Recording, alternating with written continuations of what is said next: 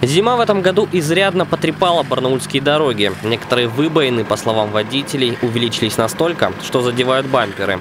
В мэрии на ситуацию отреагировали своевременно и увеличили финансирование ямочного ремонта почти в три раза. Некоторые подрядчики уже приступили к работе. Соответствии с планами по проспекту Ленина мы уже с текущим ремонтом прошли участок до э, улицы Северо-Западной. Сегодня вот работаем на улице Молодежной, на улице Попова работаем, по проспекту Социалистическому работаем.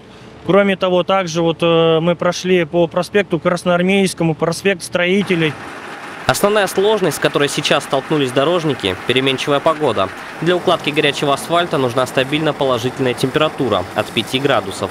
Поэтому периодические похолодания и дожди тормозят работу. Однако к следующей неделе ремонт должен будет проводиться уже в круглосуточном режиме. Мы сегодня не вышли на тот график, который спланировали. Ночные температуры отрицательные, и мы не успеваем подавать асфальт. Ну, качество, в отрицательные температуры укладка асфальта по ГОСТу она запрещена, поэтому придется на этой неделе график перестраивать. Всего в рамках текущего ремонта в столице края планируют обновить более 100 тысяч квадратных метров.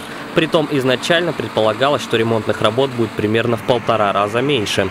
Проследить за участками, на которых ведется ремонт, можно на официальном сайте города barnaul.org. Данил Кузнецов, День с толком.